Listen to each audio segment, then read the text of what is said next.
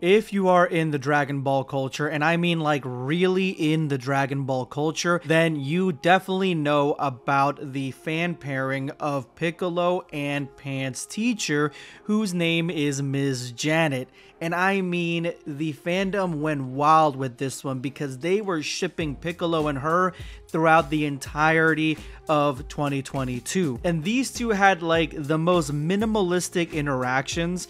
It was just Piccolo picking Pan up from school basically both times. The second time, she didn't really know it was him until later on. But that didn't stop the entirety of the fandom from going wild and making these two the newest Dragon Ball couple, and for me, I'm 100% on board. I think that it is cute to give Piccolo somebody like that, and I think Miss Janet is actually really adorable. But there is only one hiccup that a lot of the fans seem to have when it comes to this pairing, and that is Piccolo's Johnson. Yes, the fans are under the illusion that Piccolo is a plant, or at least has no genitalia whatsoever. He only drinks water, he doesn't eat any food, and he can't have any intimacy with anybody because he doesn't have the appropriate hardware. Now, I'll tell you here right now, if Ted taught me anything, you don't need to have your own Benedict Cumberbatch to be able to have a good time with a lady. So I really don't think that it is fair to place this on Piccolo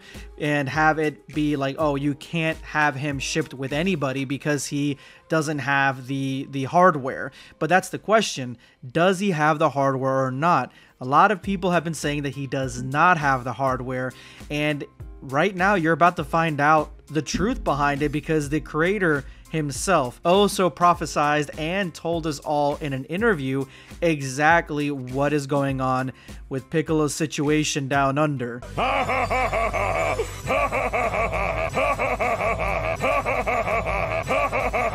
If you're new around here, make sure hit that subscribe button, turn on all notifications. If you enjoyed the content, hit that like button, you guys. It really helps out the channel. July 2006. I was 16 years old when this interview was conducted, and it was conducted for Shonen Jump, and it was actually a very small interview, like there really isn't much here. I'm gonna go ahead and leave a link to the interview itself in the description below. Go ahead and check it out, guys. But the last question, of course, you gotta get Toriyama on the last question, and this is, these interviews are gold right now because this dude's not doing interviews like, like these he's not really doing them like that anymore. So uh, yeah, Akira Toriyama, these are his words here. And so the last question that the that the guy got him on was several readers have asked if Namekians are plants. Of course, based on their names, they seem to be slugs, but they are green. They have a strange method of reproduction and they live on water. Which yes, the Namekians do birth through seemingly their mouth and there's a difference in their reproduction 110%, especially when you look at like humans or Saiyans or even other creatures in the universe that are in the Dragon Ball universe. Okay, so these are his words.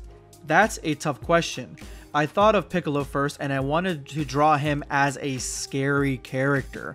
And it was only afterwards that I had to come up with his species, which completely makes sense. I mean, Demon King Piccolo looks like a demon and has demon in his name. So he was just trying to do like an adversary for Goku or the, the preliminary Z Squad since they have antenna and I thought they looked like slugs, so Namekian is a play on words but I didn't think too deeply about it. He didn't really think too deeply on the fact that they were slugs. The word for slug in Japanese is namekuji, so it's very similar to it and makes sense because one of the movies has a character that is Namekian that's called Lord Slug. So the metaphors and the, the description of slugs definitely are something that are really real in Dragon Ball when it comes to the Namekians, but it's not something that Toriyama really even thought about. But here's the last line. I don't think they're plants but they may be hermaphrodites. So Toriyama says he doesn't know if they're plants or not, which, I mean, he's saying that they're not. He's saying that they're not slugs. Um, they just kind of look like slugs. And now he's saying that they are hermaphrodites. And if you don't know what hermaphrodite is, well, it is a species that has both female and male genitalia. It's whatever pops up for whatever situation. It's almost like having like a Swiss Army knife. They can do whatever, and they can go both ways. Now, I saw this post and I can't really confirm it, but he's saying that there is another interview by Takao Koyama that confirms the Namekians are hermaphrodite male.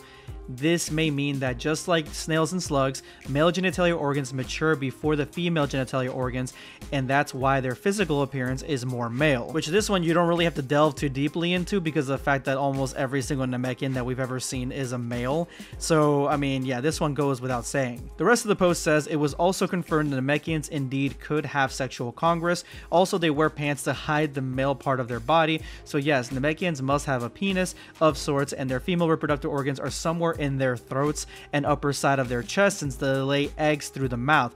I'll let you imagine how sexual congress between the Namekians works.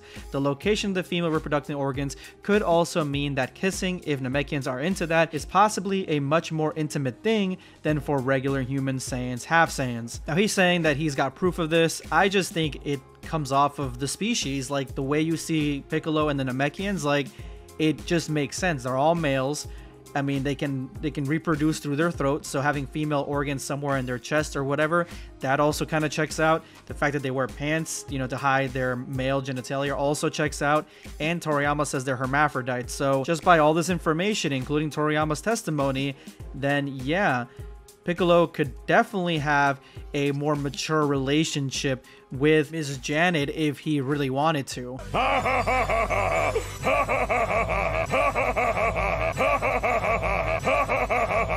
and that just answers that question. So no, they're not plants and they're not asexual or have no way of reproducing in the normal way. They can actually do whatever they want because they're engineered for both male and female reproduction. The more you know. Subscribe for more content. Or perish.